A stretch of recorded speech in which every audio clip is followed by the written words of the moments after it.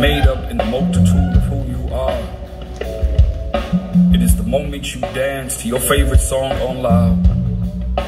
It is the way you love, the way you cry, the way you shout, the way you let anger not only consume you sometimes, and even how you release it, your identity has always been the multitude of who you are.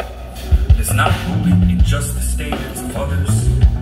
Mirror, in the mask you are forced to wear, in the mirrors you are forced to see yourself those times when you question, am I truly living up to the standards of others? Your identity is rooted when you fought against it, when your back was against the wall, and all you had was you, all you had was you, all you had was you, and the ones that loved you, the ones that wanted you to be all you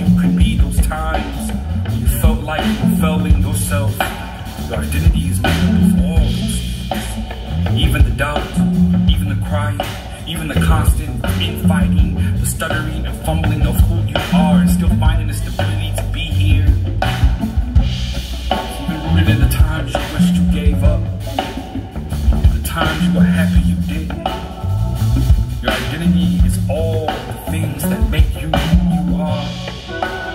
The crying at 3 a.m., the laughing in the random afternoon, the shouting, the loving,